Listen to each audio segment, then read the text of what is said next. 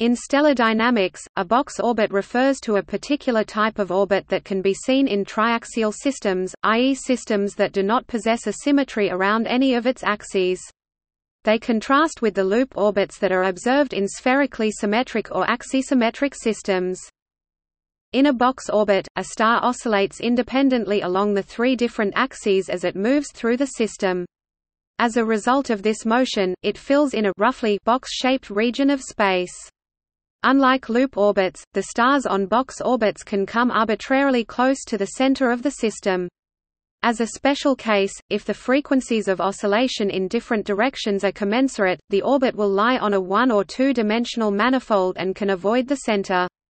Such orbits are sometimes called boxlets.